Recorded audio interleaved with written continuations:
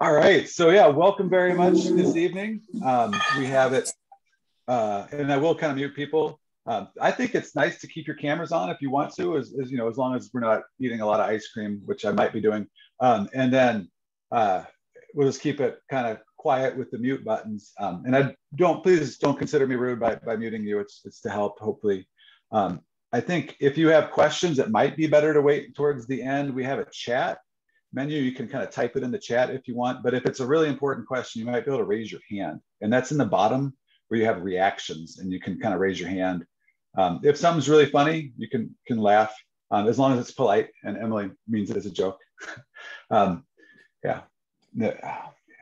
My jokes aren't funny. But so we're excited tonight to have Emily. Um, it's going to be co hosted um, by the Lake Lewis chapter and, of course, the Palouse Falls chapter. Um, um, I help out Lloyd Stos and the wonderful group at the Palouse Falls chapter with some talks. Um, our fall talks will probably be Jack Nisbet, who's a local historian and author, and he's going to focus on the Ice Age floods. And then we'll have um, Bruce Bjornstad come and do his presentation of the new book, um, which I think he's already done for the Palouse Falls, but it's it's pretty neat and it's published. And the Ritz in Ritzville has its own theater, um, and it might be fun to watch that. And then Gary and the Lake Lewis chapter will have the amazing world-class geologist, uh, Steve Reidel, come and talk about something wonderful. And we'll probably try to get him to come to Eastern Washington University in the spring too to talk about palladium. But enough of that. Let's introduce tonight's speaker, um, which is Dr. Emily Cahoon, um, who has gotten her master's with the wonderful John Wolff at WSU and then did her PhD with the amazing Martin Streck um, and has risen to great heights in the geologic community lately um, as with her amazing work in the Columbia River basalts. Right now, she's virtually teaching um, with University of Anchorage, or oh man, what, uh, geological sciences at the University of Alaska in Anchorage. Um, and then we'll keep on moving on with life and doing amazing things. I've always been impressed every time I've seen Emily. Um, so tonight, she's going to talk tonight about uh, hidden gems using sunstone bearing lavas in the Columbia River basalt group to explore magmatism within the flood basalt provinces. Woo! So welcome, welcome Emily. Well, thank you for that, even though most of those were fables. Um, I appreciate it. It's always, it's always good to see you. Um, so yeah, let me get started here.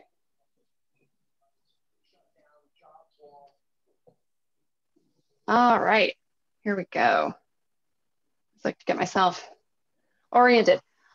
Yes, so as, as Chad said, I will be talking about um, basically this very unique gemstone that exists in Columbia River basalt lavas and how we can use this to understand more about magmatism within flood basalt provinces.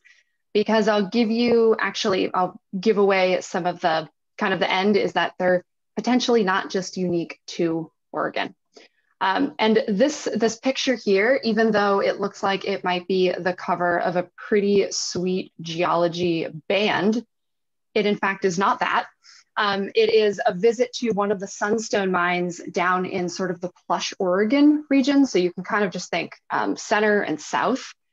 There are a few commercially operational mines down there. And this visit was, gosh, it must have been, it was summer of, um, or the end of 2019. And actually, it's it, this picture I particularly like because one, you can get an idea. This this lava flow actually that we're looking at hosts sunstones, and just looking at it from this angle, right, it doesn't look like much. Might not look that exciting. Um, but here we have the owner of this mine. This is the Spectrum mine. Uh, we have an undergrad student at from PSU. And down here in the corner, we have actually the pretty much the best gemstone cutter of sunstones pretty much in the world. His name's Daryl Alexander. And this is his son, who at the time was 16 or 17, and he's won basically gem cutting competitions. He's the youngest um, person to win sort of the highest award that he has. So visiting some of these places can be really cool because it's not just you get outside kind of your uh, niche of you know, exactly geochemistry or volcanology, and you get to meet some pretty cool people. And because I wasn't sure entirely who would be here, I figured I would just make um, that wasn't supposed to happen, just make a touch on the fact that I got interested in geology from a pretty young age.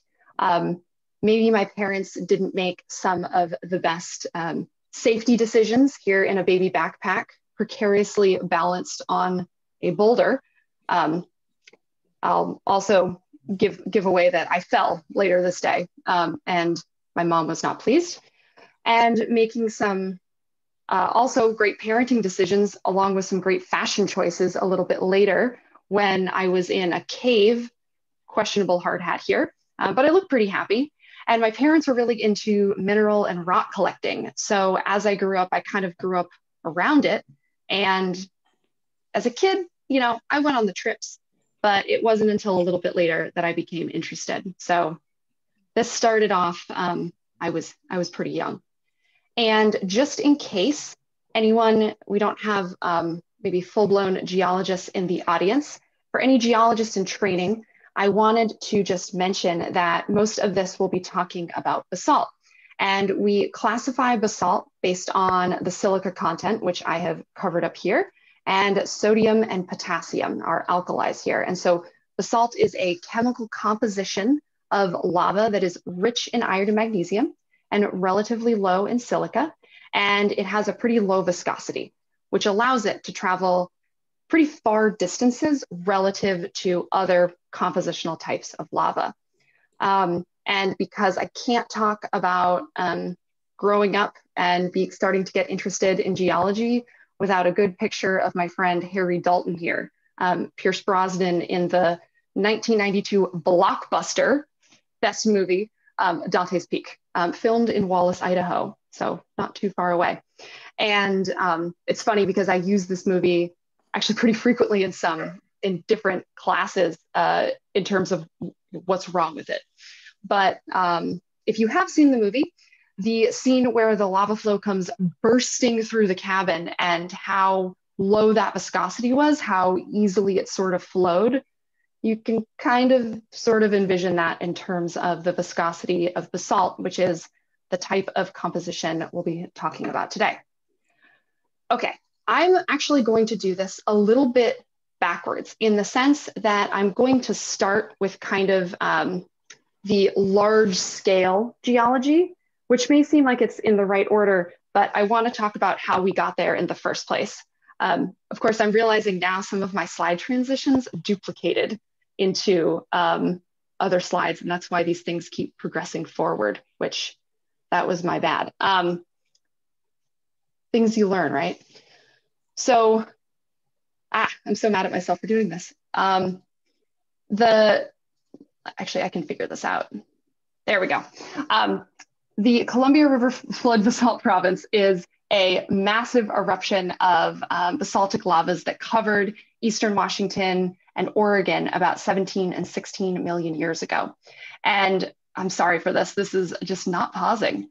Um, this was sourced from the Yellowstone plume, and it's really important because they are associated with um, basically really large scale eruptions. Um, and I'm sorry, I am going to try to remove this because this is driving me crazy. Hold on one second. You know, oh my gosh, how I, mm, okay. Um, so yeah, I always do, I tend to duplicate slides a lot with the formatting. Um, so lesson learned to me. Um, okay, so I kind of, I said, you know, I was interested in geology at a young age, went over what basalt was, and the Columbia River Basalt Group, which um, now that we got all our transitions in order, um, the world's youngest and the smallest in terms of volume, eruptive volume, flood basalt province. Um, it was a massive outpouring between about 17.2 and 16 million years. I should have put an asterisk though next to this because there is a lot of ongoing debate. Um, and as I said, erupted from fissures or cracks in the ground all across eastern Washington and Oregon. So the extent of the gray polygon is the approximate extent of the Columbia River basalt lavas. I'll probably just say CRBG from now on. And this used to be kind of pre 95, um, pretty much this northern extent. And then after 95, the Steens basalt was kind of lumped in to the CRBs. And the Snake River Plain generally connects the extent of the CRBs to the current location of the Yellowstone hotspot. To make sense of all of these lavas, because you know, if you've driven down the gorge, um, or you've been to Steens Mountain, or you've been out to WSU, you know, you see these huge stacks of basaltic lava. And to make sense of them, we have to kind of, to come up with a story, we have to kind of figure out a way in which we can divide them so we can start to tell a story. And when we do that, we do it pretty much on the basis of where they were erupted, how old they were, and their geochemical composition. And when we do that, we get four different groups. And that's what I'll talk to you about for the next um, kind of first portion. This, as I kind of said, this will be broken into two segments where the first is kind of giving you an overview of my PhD research, which really looked at one specific formation of the CRBs, which is the picture gorge basalt. And then the latter portion using the information and sort of what I knew then about the picture gorge and the presence of sunstones, what I've learned about sunstones and where that research is going. But in terms of why this is important, um, because the CRBs are the youngest and the smallest flood basalt province, well, flood basalt provinces are a type of large igneous province. And large igneous provinces represent really, really big eruptions. And their source is linked to yellow to plumes, mantle plumes, um, similar to the Yellowstone plume or the Yellowstone hotspot. Although I'll mention there is a slight difference between hotspots and plumes. Um, plumes are the, the connotation there is that it, there is a connection to the core mantle boundary. So if you see plume, um, it implies that there is a deep connection, a deep source. And large igneous provinces are correlated to mass extinction events. Not every single one, but the timing of mass extinction events or large shifts in our global climate um, tend to correspond with the dates that we have for many of these large igneous provinces. And I, this is one of my favorite cartoons um, from a cartoonist, Nathan Pyle, uh, obviously showing a comet cartoon, very excited to visit Dino World, um, unbeknownst to him that he is about to, to destroy it. But uh, we all know that, or you know, I have learned that an asteroid was the cause of the extinction of the dinosaurs 5 million years ago. But the largest flood basalt province, the largest large igneous province, also erupted at this time. And just two years ago, I was actually at a talk where someone was mentioning that actually, you know, we've dated the Deccan traps. This is this flood basalt that is the same age as the dinosaurs went extinct, about 65 million years. And they were dating it and they said, actually, the Deccan traps, they think occurred before the asteroid. So potentially the the sort of demise of the dinosaurs potentially started before the asteroid even hit the Earth. Since there's been a lot of um, research on the other end saying, no, no, no. Um, in fact, the, the asteroid definitely hit first, but this is even, you know, kind of still ongoing to some degree, uh, still a point of debate. So the point here being understanding flood basalt eruptions, their timing, their extent, is really important, um, especially when their eruptions can cause so, so much sort of um, ecological changes.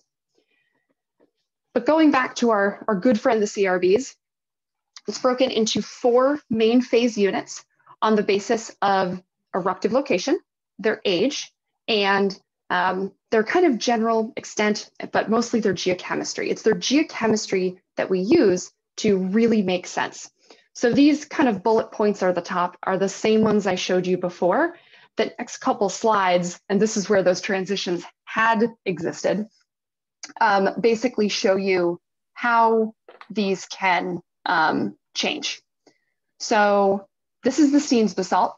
Um, this is the southernmost of the four main phase units. And as we go through, these are the different, the four different main phase units of the CRB. Um, the picture gorge basalt is actually the smallest, or it was thought to be the smallest in extent of the four main phase members. And the only dating that had been done on it was um, actually potassium argon. So this is where my research kind of kicked in because the only dates that we had for these um, picture gorge basalts were um, potassium argon ages, and they just didn't make sense with the ongoing work, um, especially with a lot of more precise work that had been done, um, some uranium lead dating on zircons in between Steens basalt lavas. So it begged the question, you know, um, it was worth sort of revisiting. So the CRBs were originally thought to have erupted over about one to two million years. Um, that was kind of what had been proposed initially. This interval started to be reduced. As I said, those more precise studies kind of came along. And most recently, the eruptive interval for the CRBs have been condensed to about just over half a million years. This is pretty different from what was originally proposed at about one to two million years. And this places basically the end of this kind of main phase volcanism at about 16 rather than about 15 and a half. And when you kind of think about the timeline, this is that's relatively significant. Also, um, there is a um, a global warming that occurs around the same time that the CRBs are being erupted. So understanding exactly when the initiation of these eruptions started and when the bulk of the material was kind of finished being erupted is pretty important in terms of trying to understand the importance of the Columbia River basalt eruptions to this global warming of the planet. And that's referred to as the mid-Miocene um, climactic optimum. Uh, temperatures rose about four to six degrees C. Okay, so in this cartoon here, basically what I want to sort of draw your attention to is originally the CRBs were thought to start around 17 and the end of that main phase, as I said, was about, um, you know, 15.6-ish. But these recent ages have really condensed that timing. Uh, Nikki Moore out of OSU, she did a PhD with Anita Grunder. She got an age for pretty much the lowest Steens and almost at 17 million. And then studies looking at um, using uranium lead and zircon basically dated a bunch of sort of interbeds within a few um, Imnaha and Grande Ronde lavas and got some of the youngest of Grande Ronde to be about 16.2. So again, really condensing that interval of CRB time. And as I mentioned, those potassium argon ages just don't make sense. These older potassium argon ages that we have for the picture gorge don't jive with all of these new high precision ages for other members of the CRB. So it's worth looking into. And this is kind of where, again, I said I was going to set the stage in terms of my PhD research and sort of where this study took off. So those potassium argon ages, they were they were great for the time, um, but their errors are so big. So those er those potassium argon ages for picture gorge, um, about 15.9 to 14.7, but their uncertainties were almost a million years. So this makes them, especially when you consider that they don't again, jive with the high precision recent other ages for the CRB, it was definitely worth looking into these um, lavas to see how, in fact, they relate to the rest of the exposures. Some recent studies had, I shouldn't say recent, this is, Lord, almost 10 years ago now. Um, some recent Earth studies had tried to look at these ages, these older potassium argon ages, and basically apply new decay constants. So they tried to take the raw potassium argon data that was collected back in the late 70s, and they tried to apply new decay constants and sort of recalculate the ages to see how they would change. And this kind of works, um, still doesn't entirely jive with some other field observations, but it makes a lot more sense than some of these younger ages. Um, and one thing to point out too is that the picture gorge basalt formation, right, one of these main phase units of the CRB, has one magnetic reversal in it. So the lower picture gorge, if you've ever been to the type section, um, this is pretty close to the John Day fossil beds, the lowermost flows are normally magnetized. So they were erupted when your compass would have pointed toward the geographic North Pole. The uppermost flows are reversed. Now, it's been sort of assumed that this transition corresponds to the N1R2 transition observed in Grande Ronde. And it's because of these older potassium argon ages and this normal to reverse transition, it's been assumed that the picture gorge is coeval, erupted at the same time as Grande Ronde. And what I have found does not make sense with that. So all things kind of leading to the picture gorge deserved to be revisited. And keep in mind of that previous map that I showed you, again, where picture gorge is the smallest in terms of its spatial extent of the other, um, of all four members, all of the things that we knew about picture gorge were confined basically to the type locality, picture gorge, and a few samples um, nearby. So if you consider the whole extent, everything that we know about it was confined to almost one location. And back in 2011, my PhD advisor, Martin Streck, was doing some um, field work with uh, a few students, and they stumbled upon this textbook dike. I mean, have you ever seen anything so gorgeous? Beautiful columnar jointed, um, you know, horizontal, so um, perpendicular to the cooling surface. And you just have some sediments sort of right on either side of this beautiful dike. So they found this in 2011 and, you know, Martin being Martin was like, I'm going to um, check it out, you know, geochemically, see what, see what this is because the relative location being in between um, John Day and Burns here, two bustling metropolises in central Oregon, the location maybe would make you think, oh, it's probably Steens. Steens basalt is um, larger in its spatial extent. And, you know, picture gorge, all this like southern kind of polygon here, they're really scattered flows. So if you're seeing dike in between, um, it's it's probably eh, it's probably Steens.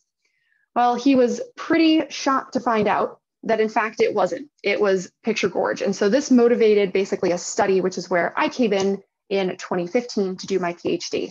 And there were a number of sort of motivating questions um, that really are distilled from some of the things I've been mentioning for the last 20 minutes. And you know, what is the spatial extent of the Picture Gorge? If you have this dike in kind of an area that also no um, like no CRBs were really identified in this area. So if we have a dike, um, pretty again beautiful dike in the middle, um, what is the spatial extent of Picture Gorge? And I'll also mention, notice that this dike is like flush with the ground surface. Um, this is uh, something that I'm really curious about, and I, I think it potentially indicates there was a lot of uplift in this area because any picture gorge basalt dike that you see in the type locality sticks out like a shark fin or something from the surrounding uh, rock. But any of the dikes we see in this area look like this. They're just completely flat. And if it weren't for a road cut, you wouldn't know it was there. But this, this motivated a study. So it was, you know, determine the spatial extent. Um, how does that impact total area and volume? how do we make sense of stratigraphy when we don't have gorgeous um, outcrops? And what's the eruptive timing of the picture gorge? So these were sort of the motivating questions for this study. And at the time, I didn't know what a sunstone was. I had no idea. But starting this study, um, basically I went throughout all of the extent of that picture gorge and kind of a little bit further east. So I'm kind of covering the swath mainly in between, again, those bustling metropolises of John Day and Burns, but also in a few different areas to see, hey, if I if I find a basalt flow, if I find a basalt dike, and I'm in an area where CRBs haven't been mapped, um, is this picture gorge? And without worrying too much about all the geochemistry on the right, I just want to point out that the samples um, that were taken from all of these sort of abbreviations on the map are the little black dots on all of these um, plots on the right. And they overlie those little gray dots. And the gray dots are the previous geochemical analyses for Picture Gorge. So once we started getting, and we did a lot more locations than this. This is these are just the samples we dated. Um, we figured out that oh my gosh, um, all of these places are are Picture Gorge, and this really extends the spatial distribution.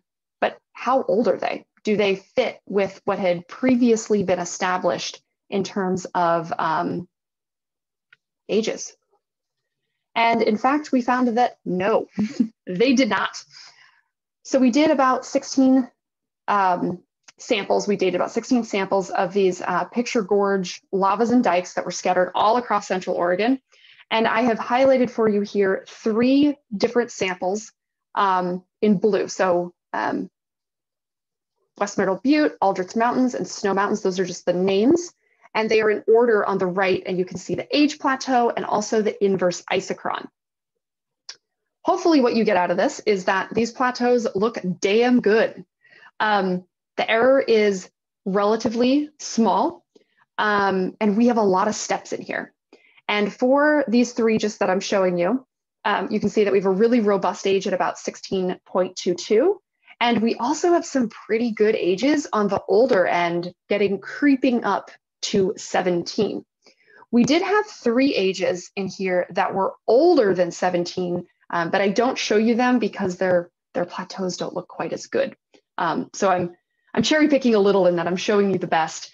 Uh, but the point here is that Picture Gorge really spans um, a number of, of years and it's much older than we thought. Remember that even with those recalculated ages, the oldest Picture Gorge was thought to be maybe 16.4, 16.5, but this is actually showing that Picture Gorge magmatism is initiating at the same time as the oldest, the only other like oldest date we have for the CRBs, which is in the Steens. And of course, um, to be outdone, that one is 16.97.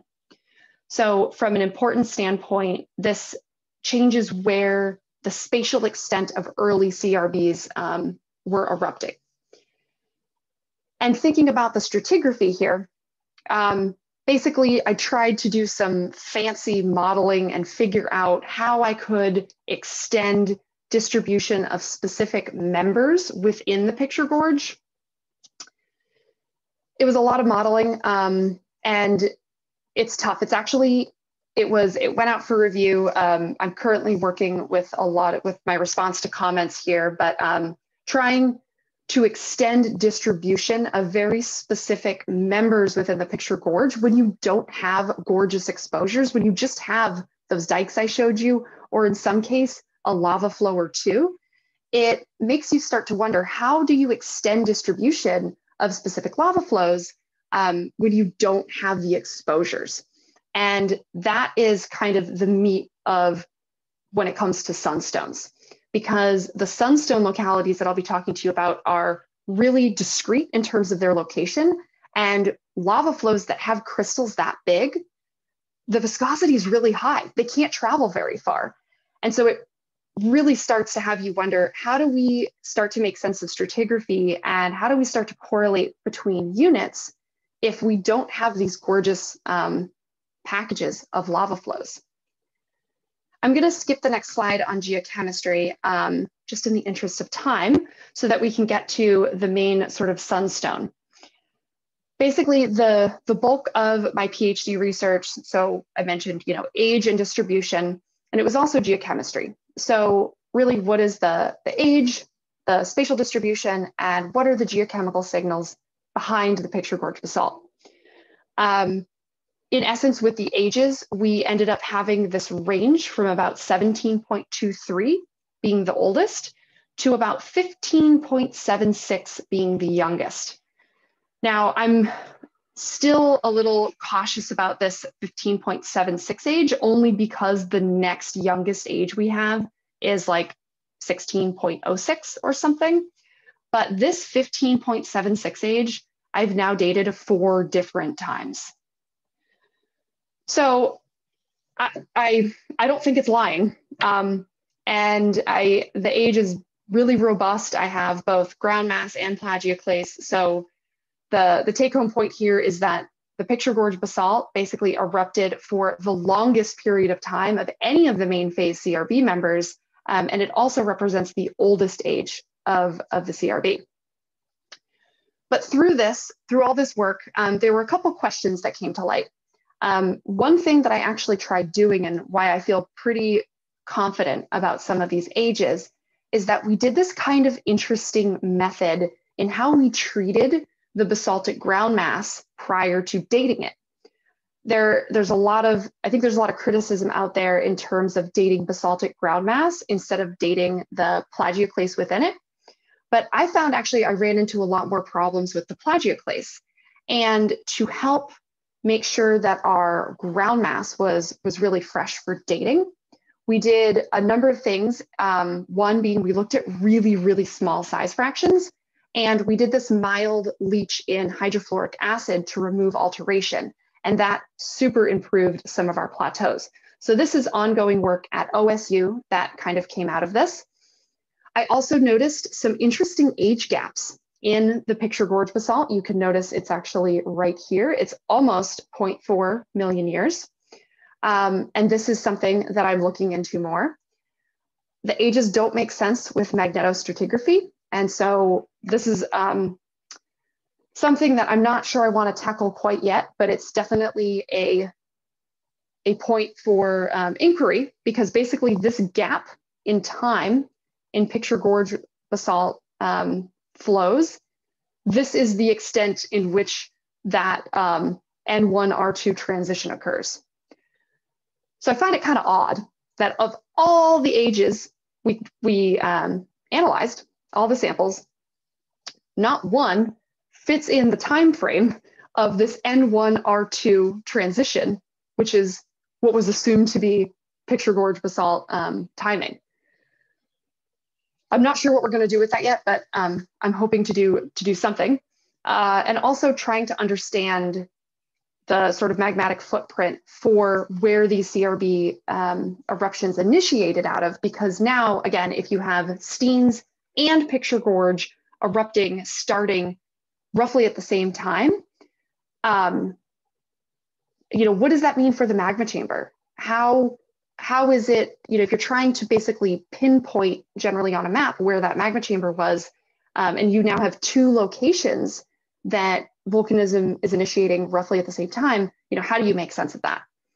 But my favorite thing that has come out of this is, um, even though we are 30 minutes in, um, I wanted to give you all that context so that you could kind of understand some of the questions and ongoing research that are continuing with um, the CRBs and my favorite is the fact that Picture Gorge basalt lavas host sunstones.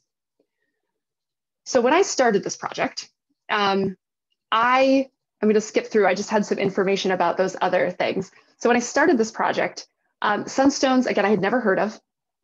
And my Martin Streck, my research advisor, gave me this terrible map and was like, go check out this location uh, because it is a sunstone mine much, much further north of the plush area. And since we had already figured out that a lot of basaltic outcrops north of um, sort of in that gap in between John Day and Burns, we already knew a bunch of uh, basalts in there were picture gorge, not Steens. If there's a sunstone mine um, north of the extent of Steens, it's worth checking out if it's picture gorge. Um, of course, this mine is private, and so the map was terrible and it took me a while to find it, but but I did it. And that's kind of where this what this started. And this was only about a year into my PhD. So all of the this data that I'm going to show you has been done in tandem with my PhD. So again, I wanted to give you that context of what I've done so that um, you can kind of see how this fits together. And this is all just really preliminary data that I was able to kind of sneak in because it did fit under the umbrella of my PhD looking at um, the picture gorge. So I'm quickly going to explain what a sunstone is, and I have lots of pictures, where they're found, some previous work and preliminary findings, and then basically tell you what this proposed study is. And uh, any day I should be hearing back from NSF. Um, and if the NSF gods look upon me kindly, I will be continuing this work over the next two years. But um, we'll see what happens. I don't want to get my hopes up. So sunstones in essence are basically a type of feldspar, plagioclase, and the variety labradorite. If you've taken mineralogy recently, this will um, maybe look um, strikingly familiar. Maybe it will um, give you some little bit of anxiety, but we're in this labradorite field here, so a type of plagioclase feldspar. And if you're not a mineralogist, you can kind of think about this um, as we classify different types of like apples. So if you have a fruit, and then you have apples, and then you have a Granny Smith apple, you have feldspar, you have plagioclase feldspar, and then you have labradorite. When labradorite has copper in it, we call it sunstone, which is a little bit misleading because you can have clear sunstones, but generally they're just pretty large and they're gemmy or gem quality, meaning um, they're pretty internally, they're, they don't have a lot of fractures, um, ideally, and so you can um, cut and facet them pretty well lots of colors because of really small, um, but actually macro inclusions of copper. You can see them with your naked eye. And they are a naturally colored gemstone. They are classified by the Gemological Institute of America as a precious gemstone, hardness of about six to seven. So decent for jewelry in terms of how hard it is. And they are found exclusively, asterisk, in Oregon, known as Oregon Sunstone. Um, so here is one, this was just a picture I took on my phone really quick, but you can see how the light is interacting. It looks like, um, right, you have some little pennies in there. Again, I had never heard of a sunstone um, prior to starting this research on the picture gorge basalt. Um, and so it's kind of funny that I've now transitioned a little bit into gemology just because the lava flows I study happen to contain a gemstone. So I think I'm pretty lucky in that regard. This is a picture from uh, John Aldrich. He owns Double Eagle Mining down in Plush. And I show this to you first because I think it, I mean, he just took this with his phone, um, but you can really see how these little copper um, macro inclusions are dispersed throughout a sunstone. And granted, this is mounted, he is in the process of uh, faceting it, but I mean, just really unbelievable. They appear to be aligned along um, cleavage planes within either cleavage planes within the crystal um, or potentially um, like the twins. So they're all very, very, very parallel within the crystal itself. Where are sunstones found? So this diagram now should be super duper, maybe too much familiar. Um, but through that research that I was doing, right, in this area, um, that map that I was given, that was terrible, um, was right for kind of in here, right near Delintment Lake. Um, and I'll show you exactly what the map looked like. This was the map I was given. Um, and to give you some context, so I have the two different like big locations for sunstone localities. There are two primary localities, five primary mines, four of them are down in this Rabbit Basin plush area, and then we have one further north. So I was given this map, and you could argue, Emily, you're a moron. There are coordinates in there. There are, but um, I thought I would just drive up Forest Service Road 41 and just like find it, right? You think mine, you think like, I don't know, some big operation. Very wrong. It was very small. Um, and because most of these things are just exposed at the surface. You don't need a lot of infrastructure, especially further north. So Martin had given me um, this map and said, hey, uh, again, this was in 2016, and said, hey, uh, you know, this, this place apparently hosts sunstones. All the other sunstones are thought to be associated with Steens basalt. So, but this one's so much further north, and we know there are picture gorge basalt lavas here. You should go check it out. And so I did. Um, but I'll also tell you that all the assumptions that sunstones in the Rabbit Basin plush area are held in Steens basalt is based on not one geochemical analysis. Took me about three years to figure that out. It has just been, it's one of those things that it's a nasty game of telephone that I shouldn't say nasty. Um, for me, it was an annoying game of telephone that it was assumed that all the sunstones down here came from Steens basalt because it was so close. Pretty fair assumption. Uh, but it eventually started becoming like, oh, well, sunstones are in Steens. And that is not true. Um, every geochemical analysis I have for sunstones down in the plush area are in fact Picture Gorge.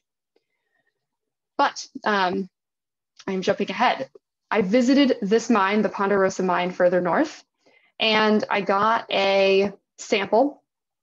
It's a little bit confusing because um, I didn't do a great job with colors here, but the hosting basalt of sunstones at um, this location, that was that northern mine, the Ponderosa mine, I grabbed a sample, wasn't really sure what to expect, and I compared it. This is a spider diagram.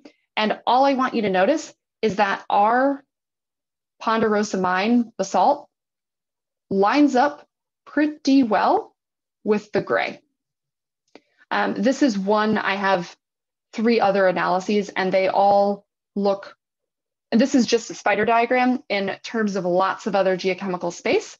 Turns out that this northern mine, um, the basalt there, is in fact Picture Gorge. So this is interesting because this means that sunstones are found in Picture Gorge basalt lavas. And this is a picture of um, their kind of mine setup itself. It's very inconspicuous. It, again, took me a little bit to find. Awesome to hang out there. Um, the owners are good people. And every time you go, you can pretty much almost instantly be welcomed with a frosty beverage.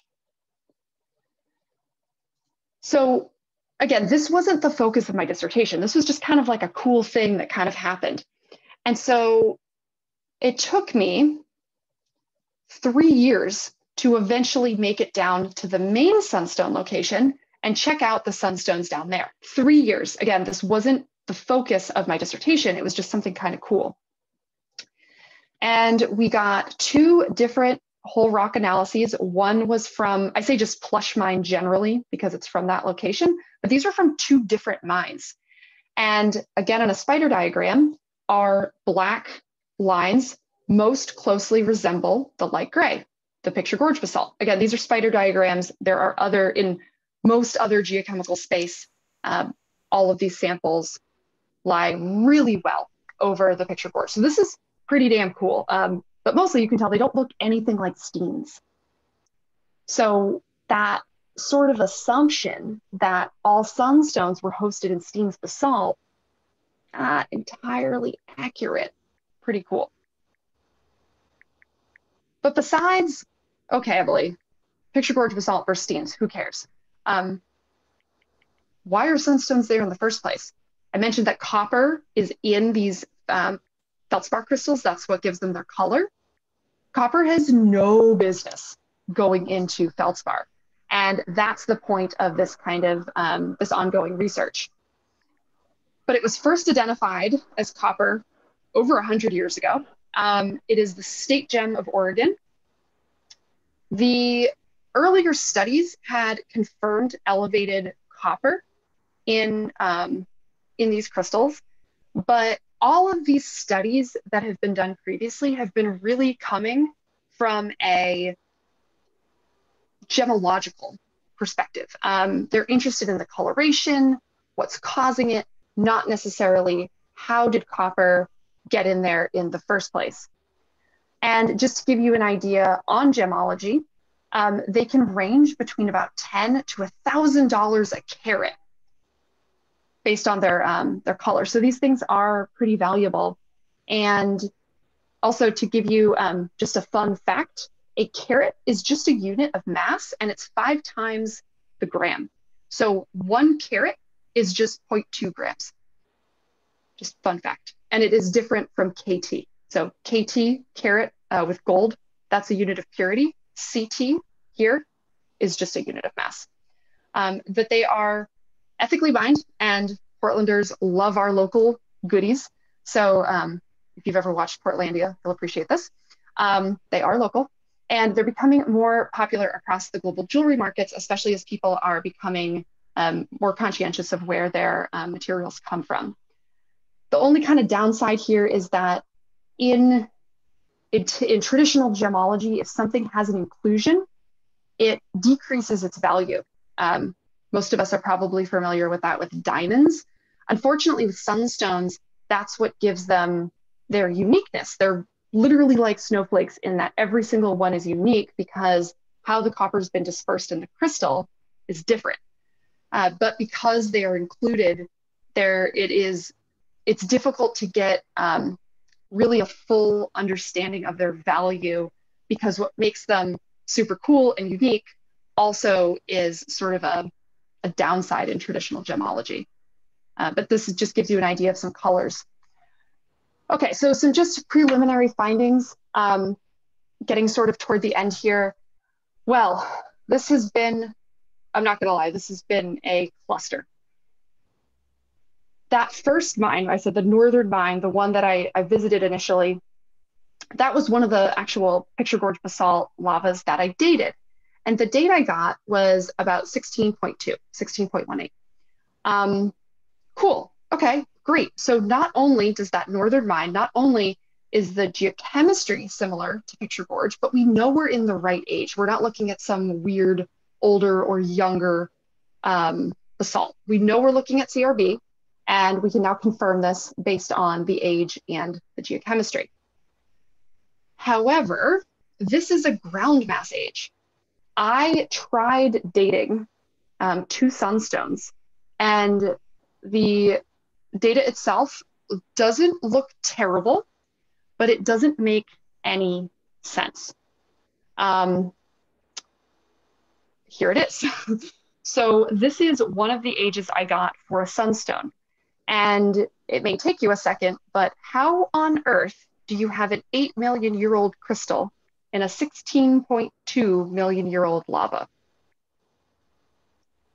And I'll tell you the closure temperature of um, both basalt and plage are really similar. So it's not like the plage could be reset and the ground mass was fine. Um, they have very, very similar closure temperatures. And considering now that I've done this with a few different um, samples at that northern mine, it seems to be a consistent um, conundrum, I guess, that the, the sunstone is much younger and the basalt is much older. Um, and this is the inverse isochron. Uh, what's interesting here is that all of the points really cluster toward atmospheric.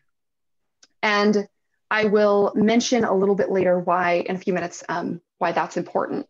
This diagram uh, is, I'll come back to this um, because this gets into sort of a controversy of how, how much integrity this argon data may have. So, but I'll, I'll get to that in a minute.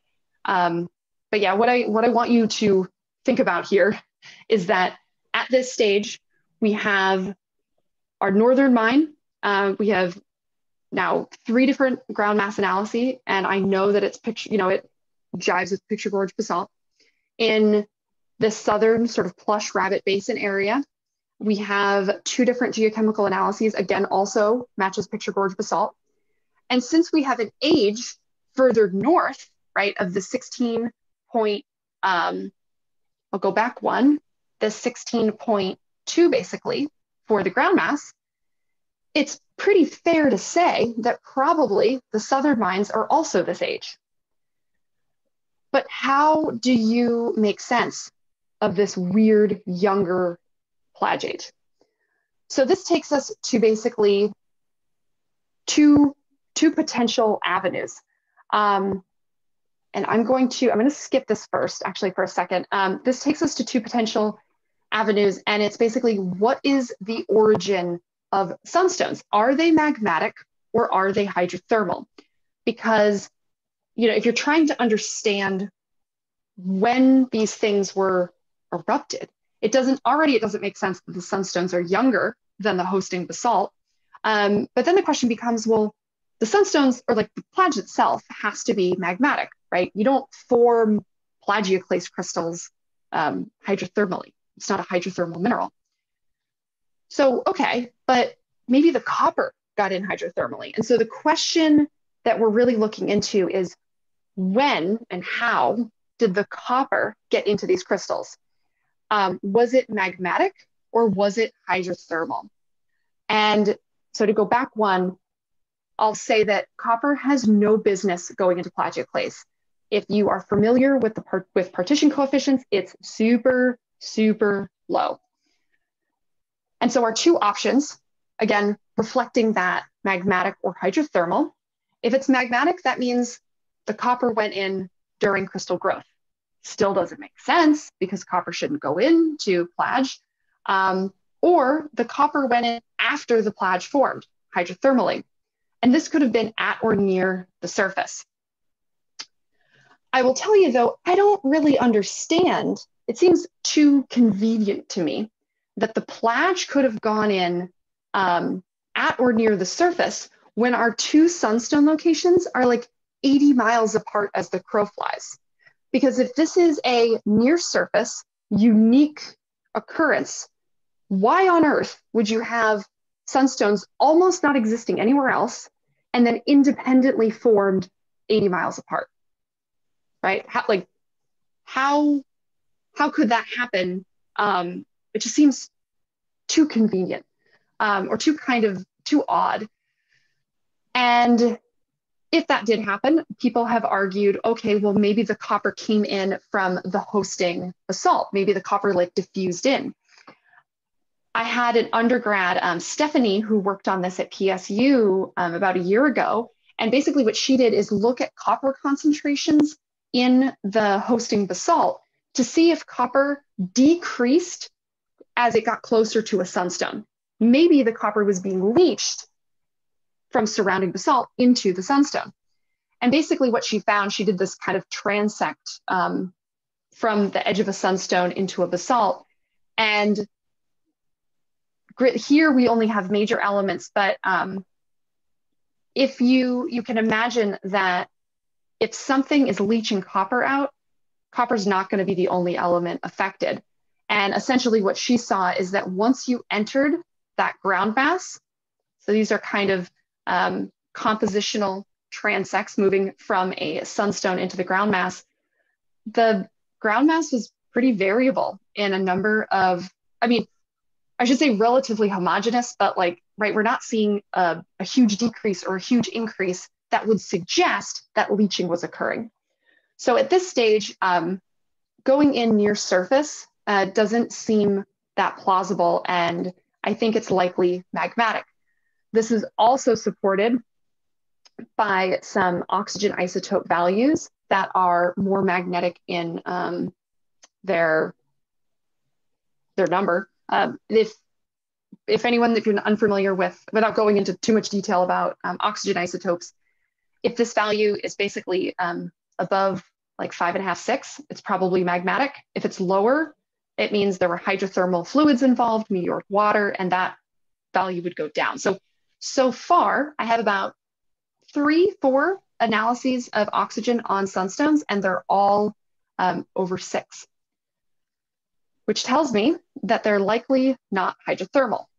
Um, you could argue that, well, maybe the the timeline, the, the time it takes for oxygen to diffuse, for copper to diffuse, maybe those are different, and copper occurred before the oxygen. But um, there are also, there's a very interesting mineral in sunstones called protoenstatite. It's a type of um, really odd type of pyroxene. And it is low pressure and very high temperature. So this also suggests a magmatic origin. And it is currently thought that that um, protoenstatite gives some of the green coloration, but I would argue that's still kind of up to, for debate. And to just show you some, just when these things are cut and faceted, um, they're unbelievable. And this one on the left was cut by um, Daryl's son, Nick Alexander, when he was like 16 years old. So it's also a really cool, um, I think, career option that at least I don't think I was ever talked to about when I was um, getting my bachelor's that, you know, there is like a whole world in gemology, not the metaphysical stuff, not going there, but in sort of um, cutting, grading, and uh, it's just, it's pretty wild. So I'm just gonna, I won't, I won't go through sort of all these questions. Um, I just want to point out that basically recently sunstones have been identified in Ethiopia. And this is pretty curious because Ethiopia and the extent of where these sunstones have been found is actually within the world's second youngest flood basalt province. So I'm starting to wonder if sunstones, in fact, are recording a really unique process that only occur in flood basalt provinces. And the only reason we see them in Oregon is because it's the youngest flood basalt. Their preservation potential isn't great. Um, and so I find it pretty interesting that this is very, um, this is still kind of, um, people will debate this, but that sunstones are coming out of Ethiopia and the approximate location is within the Ethiopian Yemen flood basalt province. The reason this is, um, I'll just kind of finish up with the reason this is controversial is because in over 20 years ago, there was a bunch of there were a bunch of sunstones that started hitting the market, and um, you can imagine that with more material, it started to affect the price. But the curious thing was that there were no rough stones available for purchase from these new places. People were saying Tibet, China, Mongolia. Um, as it turned out, what was happening is people were taking clear plagioclase crystals, specifically andesine, and they were putting them in an oven under very fixed conditions with copper filings and diffusing copper into the sun into a clear crystal to produce an artificial sunstone.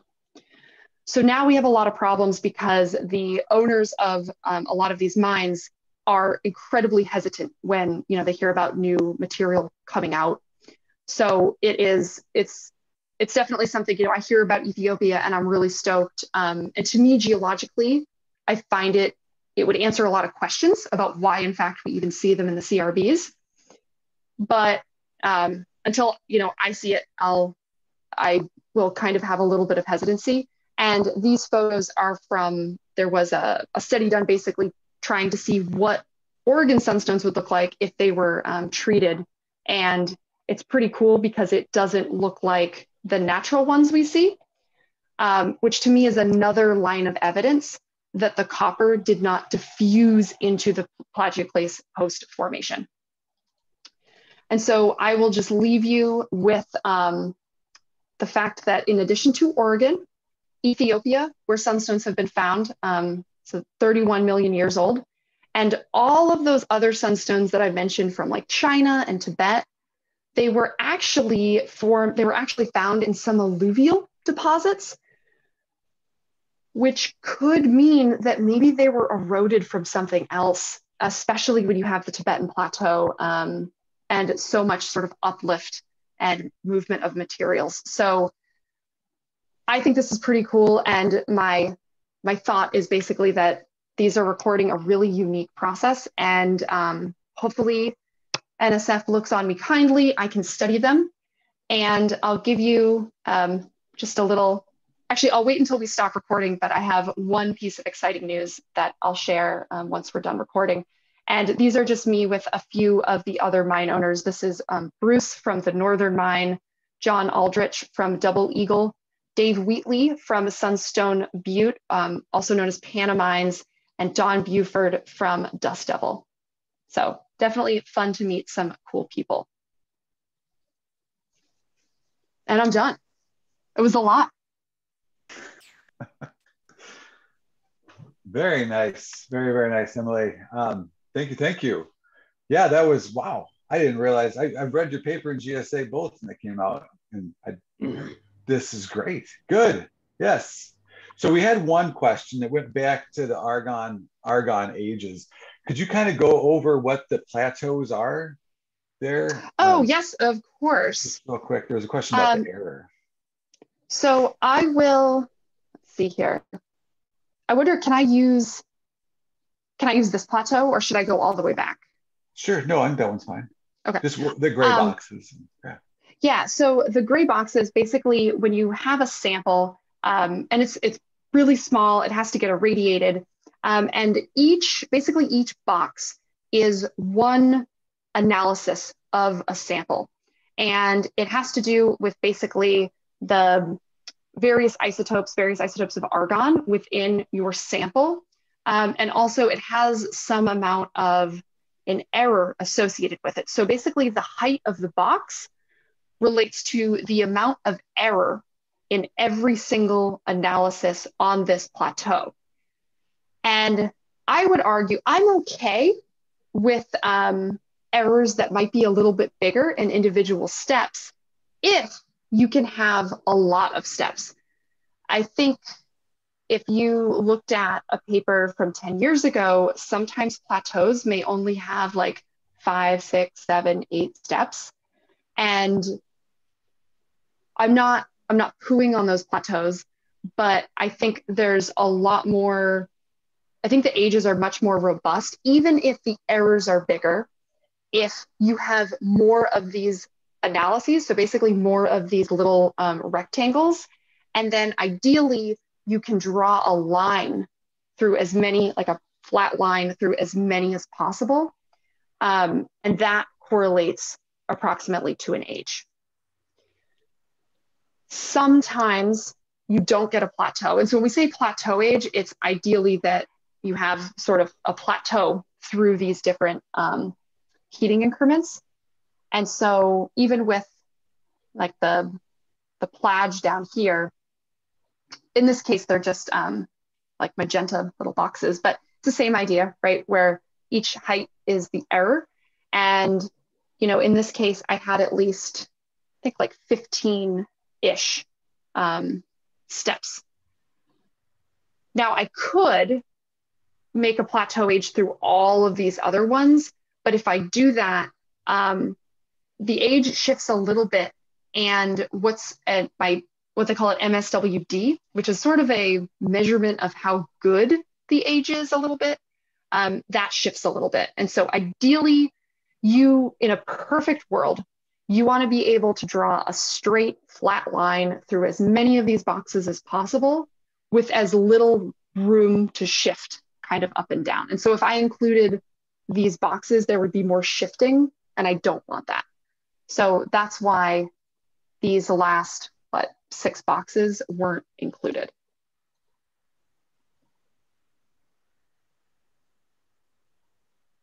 Cool. Good. Well, just let, if people want to ask questions, you just ask a question. Yeah. There was a question on chat too um, about Yellowstone. Yeah. Um, Okay, so there are sunstones associated with the Yellowstone volcanic field found in post-formation basalts in the eastern area of the volcanic field. So um, I've definitely, since I started working on this, I have had a few, you know, instances where people say, oh, you know, there's sunstones here, there's sunstones there. There are absolutely places where copper has been found in feldspar crystals. These are not the only like this isn't the only place um, entirely, but typically they're either really small, more localized, um, or such that the copper abundance is like copper in sunstones is about 300 parts per million. And in some of the other ones that I'm familiar with, they're closer to, you know, maybe like 100, if that. And I have I have heard of a few places, but I have never put it this way. I've heard of places, but I haven't seen anything. And sometimes I also rely on the, the mine owners to learn more about what's out there because they are actually impacted um, kind of on a day-to-day basis more if there's more material coming out and they have basically more competition. Um, and so sometimes if I hear of a place, I may ask one of the mine owners and they'll say, oh yeah, you know, it was in small quantities. Um, so, and that's, that's actually one of the things that's kind of hard about this work is because it, it's great in that it straddles, um, you know, scientific research that includes gemology, but it does get a little sticky sometimes with, um, because it involves money. And so unfortunately, you know, I hear about Ethiopian sunstones and I get all excited, but I also recognize that there's a chance um, plagioclase is there, but someone diffused copper in. There's a chance that um, they're not there in the first place and someone's just trying to ruffle a, a, few feathers. So you just have to take everything with a grain of salt. Um, so I guess, you know, in some cases it sort of has its um, ups and downs. I thought but there were a lot of have pictures. I was just going to say, if, if um, Kate, if you have any pictures of these, I would be super curious to see them. I'm sorry, I interrupted you there. I was going to say, I thought there was a lot of politics in universities, but wow, man, sunstone mining, there we go. There's a lot going on. Um, Good. Actually, the last time I was at one of the southern sunstone mines, as I was leaving, uh, I left. And once I got into service, I got a call from an Oregon State um, police officer that a, uh, a, a rig that was near one of the mines had been lit on fire. And had I seen anybody near, so you do get some, some interesting, some interesting things, uh, politics and um, yeah, if when there's money involved, people get people get amped. Oh, Kate here. Can you hear me? Yes. Okay. Um, so I collected the sample myself, and um, it, it, there's a there's a cone. I didn't go to the cone. I was on a field trip, and there, it seems like it's maybe confined to one flow, and they're very they're gemmy, and um, and they're fairly, some of them are fairly large. We were there just in a very short period of time. So um, it's always a place I've wanted to go back to. So that's interesting. And to be honest, I would be stoked if this turned out to be something, you know, for my own research benefit, um, stoked if, if this was something that is, you know, I'm actually right that it has, it's recording some interesting um, petrogenetic process associated with flood basalt provinces, mantle plumes. Um, so that's pretty, will you, um, will you send me a, like an email with a picture if you don't mind? Uh, it might take me a little bit. I have to go dig it out of the box it's in in the garage. Oh. But that, good, yeah. Um, might have something from the field too. So yeah, I'll, I'll get something to you is your no rush available somewhere? Yes, and I can put it in the chat too. I have like a hundred emails, so if you find one that's not this, it definitely still works.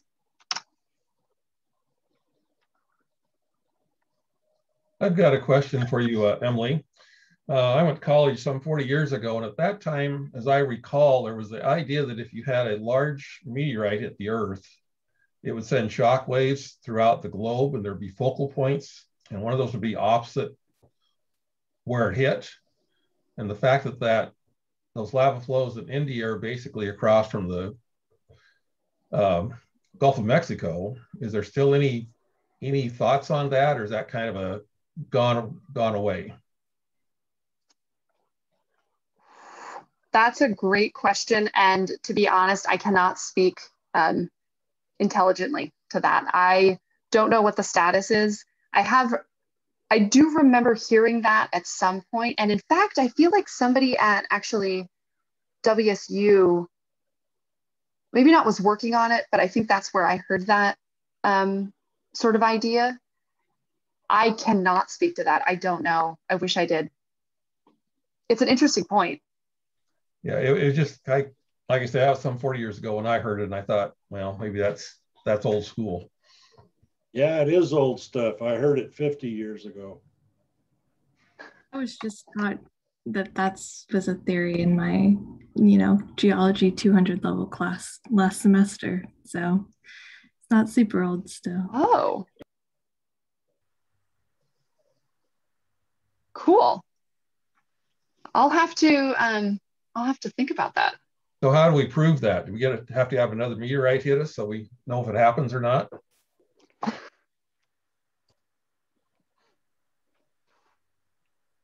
I don't know what kind of experiment you would have to devise to to test something like that. Um, but if you come up with a solution, I'm all ears. Well, Maybe that's something they can do up in the space station on a small scale where there's no gravity to interfere with it. Oh, it's interesting. I think you mentioned that traps were dated beforehand, before the crater impact. Is that correct? Say that again. Sorry. Um, you, I think you had mentioned somewhere in your in your presentation that the traps we've had dates that precede the crater impact. Oh yeah. To be honest, so I remember going to that talk. It was late 2018, and I then recall talking about that talk like a couple months ago and being told that that whole idea had been kind of thrown out and in fact they, there was evidence now almost concretely that the Deccan traps those lava flows occurred after the asteroid. And if that's true um, i think there's a lot of like geodynamic questions that because in that sense it almost it, it's hard to not wonder if the asteroid and the lava and the lava, like that huge eruption, um, were correlated in some way, you know, which seems even saying something, you know, like an asteroid caused the largest volcanic eruption in Earth's history. Like verbalizing that sounds a little wild, but if if the asteroid did in fact occur first, um, it's hard not to kind of wonder. I had heard sometime that uh, the fossil hunters had said uh, the numbers of fossil dinosaur fossils were in decline for about a million years prior to Chicxulub, and that Chicxulub clearly finished them. So there, I don't know what what there is uh-huh. Deccan traps, but somewhere I had read that in in a, a, a story somewhere that uh, they had counted uh, a decline in dinosaurs. So that, that, was, that may have been one of the lines of evidence for, in addition to the ages, um, right. for those folks saying that um, the Deccan traps occurred, like started erupting prior to the asteroid. There's also, so one thing, um, one of what I mentioned kind of halfway through that my PhD research has sort of prompted um, maybe, maybe like five different questions. And the last one was was really on the sunstones. One of them was this sort of weird age gap that I found in the Picture Gorge basalt dates that I collected. Granted, I had what 14, so you know you could argue, okay, well you don't have enough. Um, I actually, because I'm a sucker for punishment, went through every single date that had ever been published on the CRB and taking into consideration errors, decay constants, standards, all that. Basically, tried to explore if that age gap existed in the CRBs. Because something like that, you can't really determine unless you have a crap load of data. And interestingly, I did, we do see this, um, this gap in time. So this weird period of 0.4 million years that Picture Gorge wasn't erupting is also mirrored in CRBs. And I was talking to someone, I bring this up because I have a colleague who works on the Deccan. And I asked him about this like, do you see a gap in time with the Deccan? And his response was basically, yes, but the the age, this this gap in time doesn't make a lot of sense with the observed stratigraphy. So by that I mean the this period that there shouldn't be any eruptions um, and then the next basalt it it doesn't you don't get what looks even like any sort of unconformity so and it hasn't been published or anything because um, it doesn't make sense entirely with the stratigraphy but i bring it up because i i think about if if these two pulses um, of volcanism occur in the CRB and it's been proposed in the Deccan, you know, could, in theory, could you have had a situation where there was like an initial pulse of volcanism in the Deccan that maybe influenced um, some species to go extinct? And then you had the asteroid, and then you maybe had the bulk of volume of the rest of the Deccan. That so it was kind of a three sucker punch I'm completely speculating, but I I say that because this interesting gap in in ages you really would only know if you'd done a crap load of dating. And so I mean it's it's possible that yeah early Deccan maybe had some impact on the dinosaurs. Asteroid really finished them off and then um, the bulk of the volume erupted later.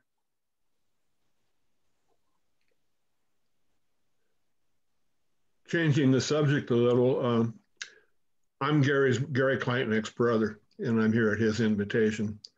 Um, but I had never heard of sunstones before, so I did the normal thing. I asked Mr. Google, and uh, I read a little bit about him in uh, on Wikipedia. And Wikipedia said something a little different from what I heard here today, but maybe you hit on the differences. Uh, Wikipedia gave um, sources from, didn't mention Oregon or Ethiopia, but it mentioned a, a site uh, on the East Coast, probably New Jersey, Scandinavia, Norway, and Sweden. And uh, I don't right off recall where, where else they found them but they're probably not the same kind of copper content or might even be the salted. I don't know, but they're different. Yeah. Um, that's interesting. I haven't, I'm surprised if that's, I don't know of any localities on the East Coast. Um, but if you go to GIA's website, has a a portion on the Gemological Institute of America has a portion on colored um, stones, mm-hmm. and they would be more credible for like kind of uh, you know pretty digestible information. And granted, they come from the gemology side of things, mm-hmm. but they are more. I would say their organization has the most integrity in terms of groups that have looked into sunstones.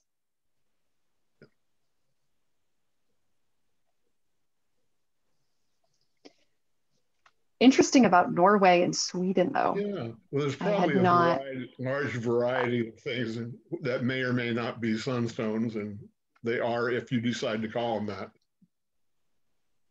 That's you know what that's a good point because with sunstones, it's it's easy to say they're copper enriched labradorite, but technically they're not super enriched in copper. 300 ppm is just a lot compared to nothing. Um, but it's not like you're not going to mine them for copper. And in theory, copper sometimes, if it's in lower abundances, they're they're just clear and or in the gem world, champagne. Mm-hmm. So in that sense, you could pro- you could have a gem quality sunstone that was really just um, plagioclase feldspar that had minimal internal fractures. It didn't necessarily have to have any copper, But if they're large enough and they have not a ton of internal um, kind of fractures, you could cut and facet it. And so, in that sense, you could probably call it a sunstone. Mm-hmm.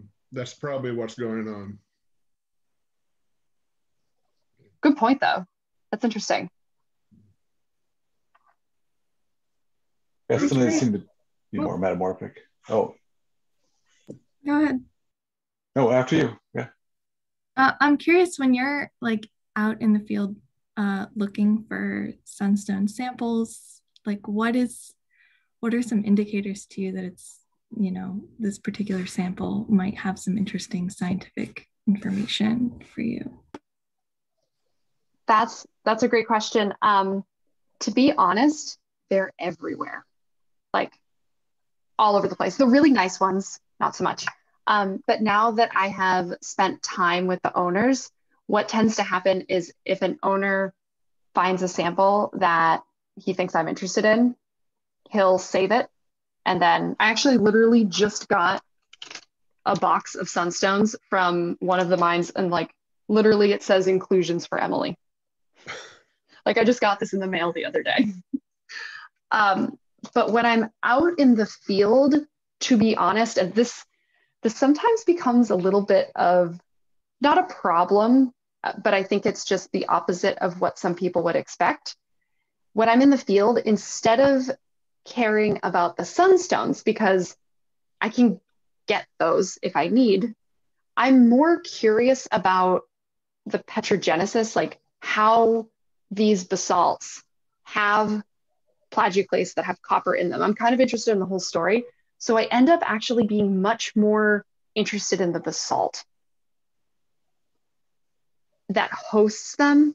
And if I want to get a sample for geochemistry, ideally, I want it to be pretty fresh. So, like minimal vesicles, not really oxidized, um, just looks kind of clean. And so, to do that, I'll you know take a sledge and try to get a piece on the inside. One thing that is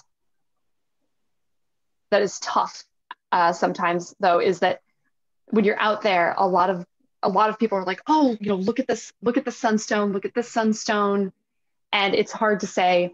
I'm actually not super interested in the stones themselves. I'm interested in the lava flows and sort of their thickness.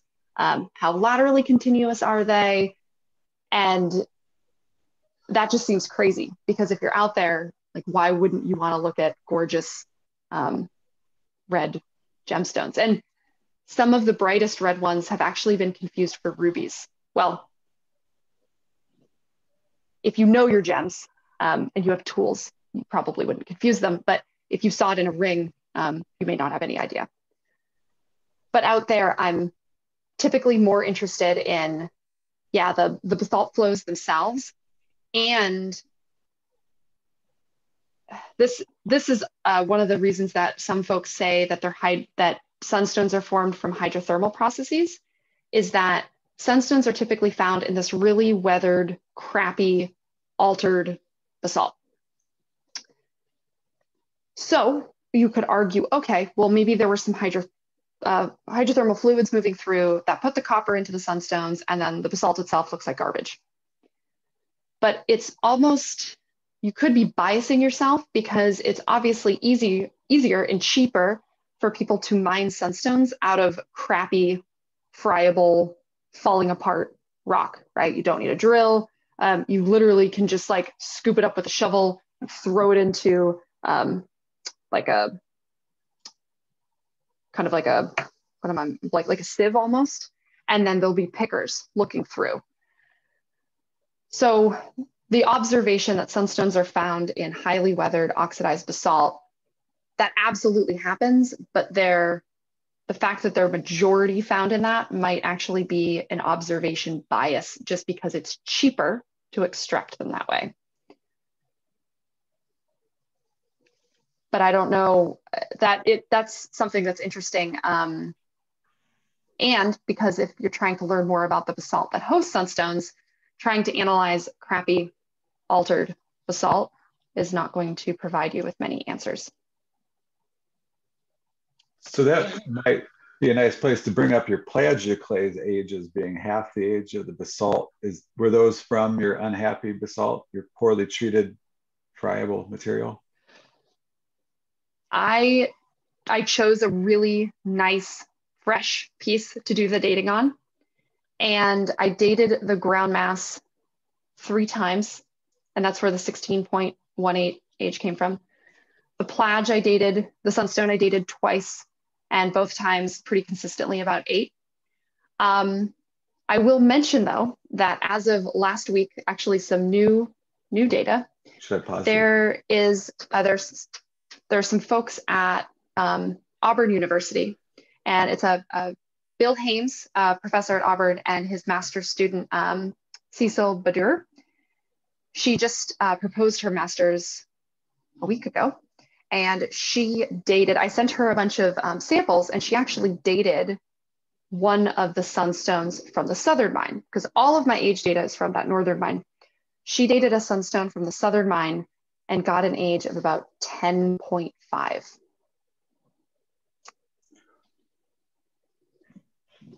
So we don't have any ages on the basalt at the southern locations.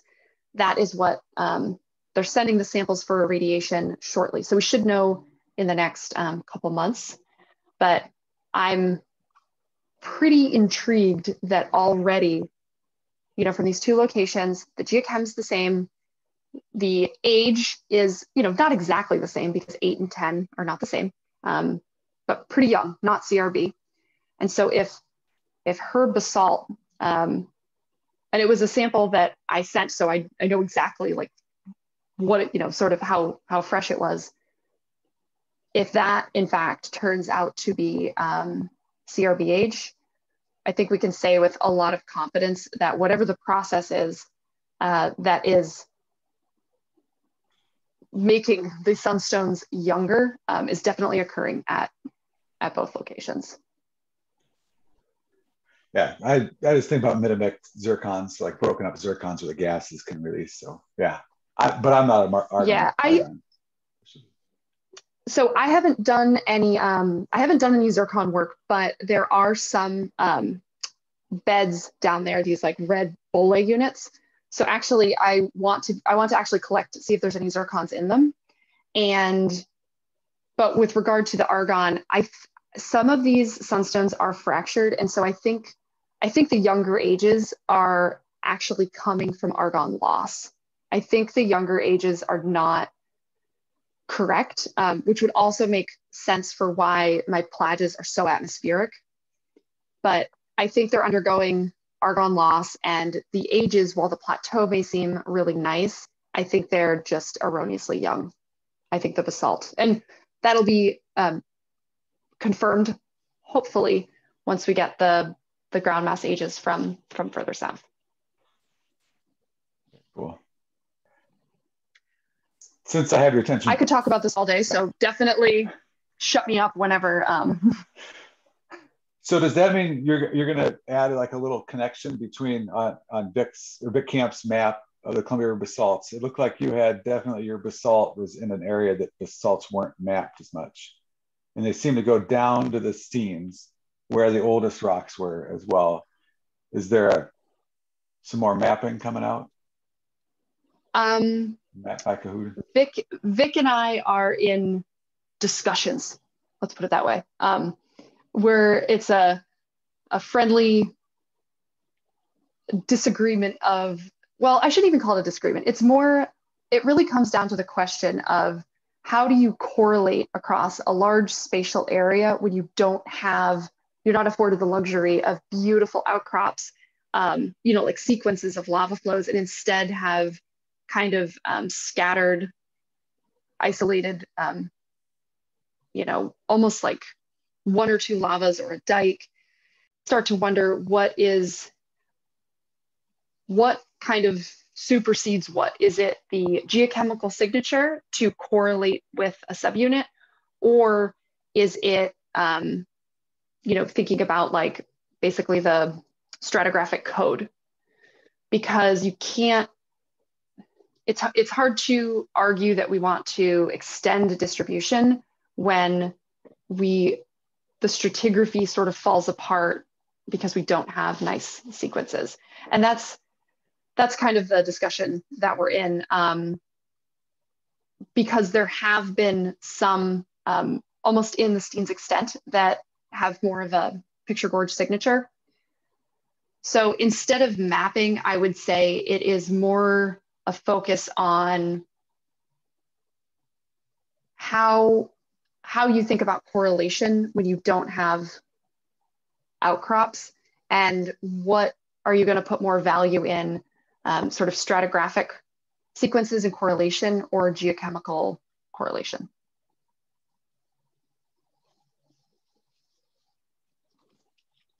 And it's tricky, um, especially some of the earliest Imnaha flows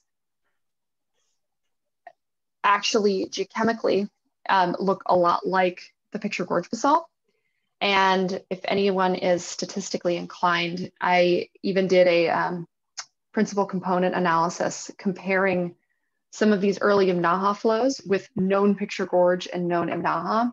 And these early Imnaha flows actually um, end up being predicted as picture gorge. So instead of, I would argue, I it's hard to talk about stratigraphy, and I would say it almost becomes a question of what is the picture gorge signature? Um, and a lot of it is uh, high elevations of or high concentrations of, of specific elements. And so it might be worth asking, you know, what is really causing that? And in fact, is it just that early products of flood basalt volcanism in Oregon have this, this particular signature? And so it's not a matter of like stratigraphic correlation, but more so what does this geochemical signature indicate? I don't know if that was too off base. I like it. Looks like we lost Larry though. oh. um, but that has you have been talking for a long time. I'm sorry, I just realized that too. Um, cool. Are, are, there any more questions? If, if Emily's cool with, with sticking around for I have more, or question. Okay. one quick question. Uh, it's a fun, a very basic mineralogy question. Basalt is a very fine-grained rock, implying rapid cooling, and feldspars are large grain, implying slow cooling. So how do we mix them together? That's actually a very excellent question. Um, and typically it's sort of understood that the these larger crystals formed at some depth and then were basically remobilized when that basaltic liquid, um, that basaltic magma, you know, kind of entrained them and brought them to the surface. However, the not sunstone specific, um, but in flood basalts, there are something, there's a type of feature called giant plagioclase basalt, GPBs, they are often associated with flood basalts, and basically they're basaltic lavas that have really big plage in them. And to your question, there are still, we actually don't know exactly why giant plagioclase basalts are so characteristic of flood basalt volcanism. There have been different um, models proposed, and one of the more recent ones was just a couple years ago. But I would argue um, it was by a guy named Sheth, and it was just one author.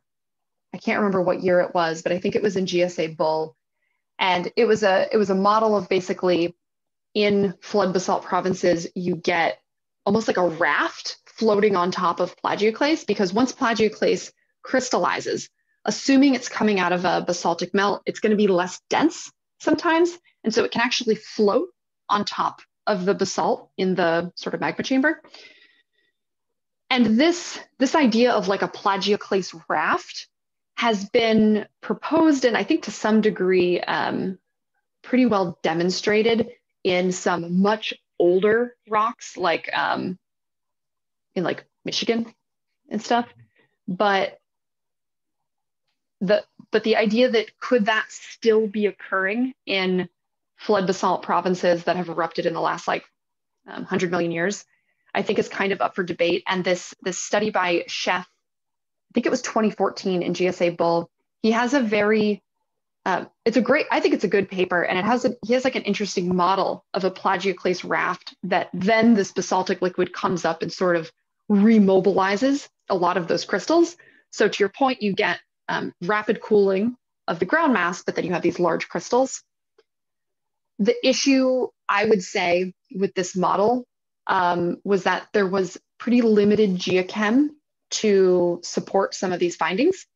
And more so I think that if, and I haven't um, done any significant research into this, but I would argue that if you had a plagioclase raft sitting on top of a huge basaltic chamber, right, magma body of sorts, and the basaltic liquid is then entraining some of these large plage crystals, in theory, wouldn't you get almost um, like enclaves or like chunks of entire almost like anorthosite, like chunks of plage incorporated into the basalt, you know, but we don't see coalesced, um, we do see big crystals, but we don't see like, you know, large chunks of um, almost like xenoliths, but we call them enclaves because they would be related to the magma.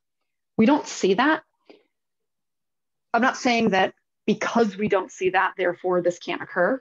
But that combined with sort of minimal geochemistry to support that idea, I'm not entirely on board, but I think I think there's something very valuable in um, that idea. So they formed at depth, but how they got incorporated into the basalt is variable. So you find them, but the mechanism is still uh, up for grabs. long story long that I made, yes. Thank you. Cool. Yeah. Yeah. Well, I think it's getting close to my bedtime. I don't know about you guys. Um, but yeah, so so Emily has her email on the on the, the chat there. Um, wonderful talk and thank you. That was a great discussion. I liked it. We hit a lot of stuff. That was great. So thank you very much for coming today. Um, if you are around next week, we'll have Joanna Redwine talk about some trench work out in Oregon um, in the Gales Creek Fault uh, at Eastern Washington University and Columbia Basin Geologic Society. Um, you can also email me um, if you have questions about that. I'm Chad, I'm at Eastern. And big thanks to Emily Cahoon um, and Lloyd. And then we had, uh, where did Gary? Gary's gone, but the, the Ice Age Flood Institute for, for hosting tonight. Thank you, Emily. Woo. Yes, thank you so much. Um, and I do, if, uh, do you have a bunch of students here? Some. Some. Um, after you stop recording, I just have one um, kind of interesting bit if anyone's interested. Oh, I could stop recording. Without